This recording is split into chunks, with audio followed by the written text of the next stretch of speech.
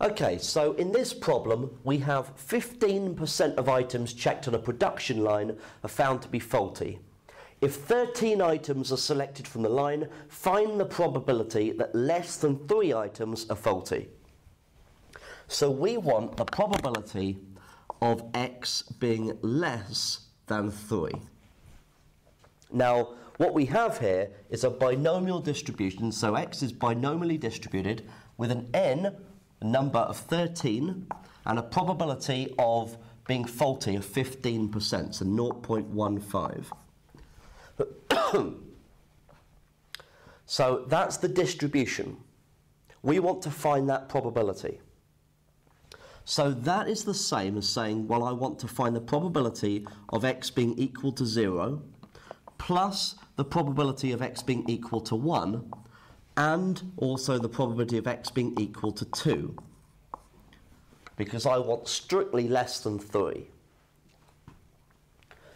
So I could use the formula for each of these.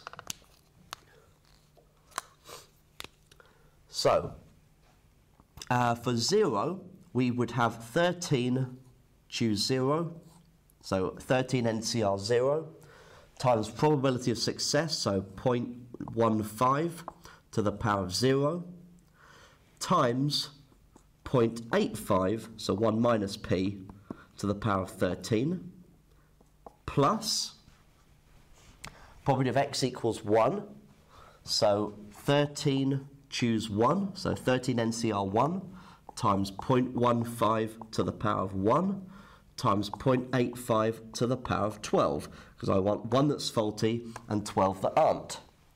And then finally, probability of x equals 2 is 13 NCR2 times 0.15 squared times 0.85 uh, to the 11. So you can see that this calculation is quite large. Now, 13 choose 0 is 1, so is 0.15 to the power of 0. So we just have the 0.85 uh, to the power of 13. So I'll write that down uh, to four decimal places, plus 13 NCR1, which is 13, times 0.15, times by 0.85 to the power of 12. And that gets me 0.2774 to four decimal places. Plus 13 choose 2, so 13 NCR2, which is 78, times 0.15 squared times 0.85 to the power of 11 and that's 0.2937 to four decimal places.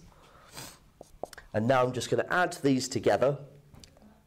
So uh, what do we get? I'll, I'll, use the full calculator display when I'm actually calculating this, uh, uh, adding them all up rather, just so that we've got it as accurate as possible. And then this, so plus, uh, 0.85 to the power of 13 and that's 0.6919643127. So, so this is 0.6920 to four decimal places.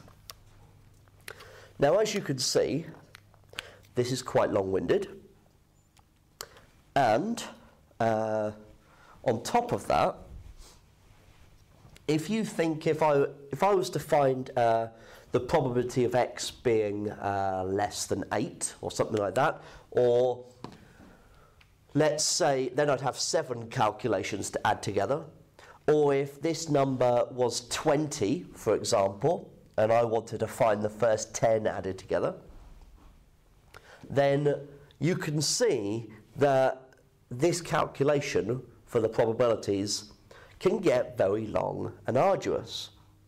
And thankfully, we have a formula booklet which has um, some of these already contained and worked out for us.